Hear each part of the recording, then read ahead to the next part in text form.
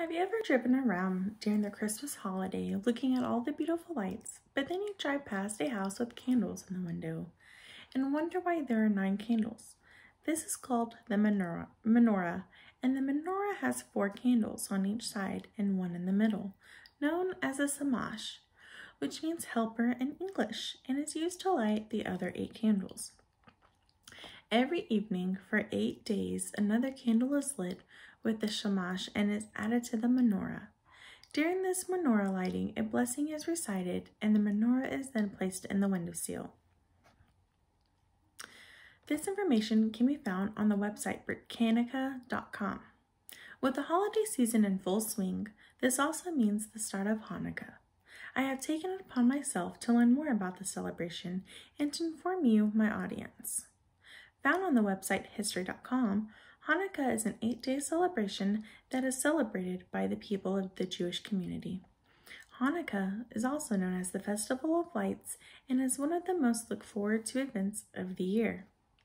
This eight day observance will begin the evening of Sunday, December 22nd, and last until the evening of Monday, December 30th, for the 2019 year. In Hebrew, Hanukkah means dedication. Hanukkah is a celebration that exhilarates the ideals of Judaism and the rededication of the Second Temple of Jerusalem and the struggle of religious freedom from the Greek Syrian oppressors during the Maccabean War in the year 162 BCE. Originally, the menorah candle was only supposed to burn for a single day because there was only enough oil found to last this long. However, the flame continued flickering for eight days, and this is what started the celebration to last for eight nights every year since the second century BC. Hanukkah is also known for as the Festival of Lights because of the miracle oil that continued burning. As of 2010, there were nearly 14 million Jews worldwide. This percentage is nearly 0.2% of the world's population and continues to grow as the years come. This statistic can be found online at globalreligiousfutures.com. Hanukkah is celebrated by lighting of the menorah, eating traditional foods that are mostly fried in oil because of the meaning of the miracle oil, as I previously had mentioned. Some of the most popular foods being consumed during this celebration are potato pancakes called latkes in Hebrew and donuts.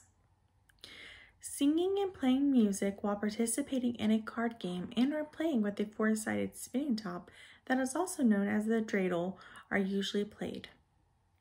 Giving and receiving gifts are also a part of the holiday celebration. As this very festive celebration comes to an end on the eighth night, eighth night in the Jewish community, the Jewish look back on how far their religion has come, the sacrifices made, and they are thankful for all the blessings they have received. Hanukkah is a holiday that is celebrated by so many around the world.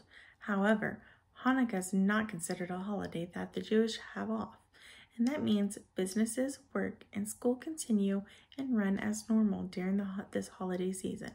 So when you see a fellow Jewish neighbor during this holiday season, wish them a Hanukkah Sameach, which means Happy Hanukkah in Hebrew.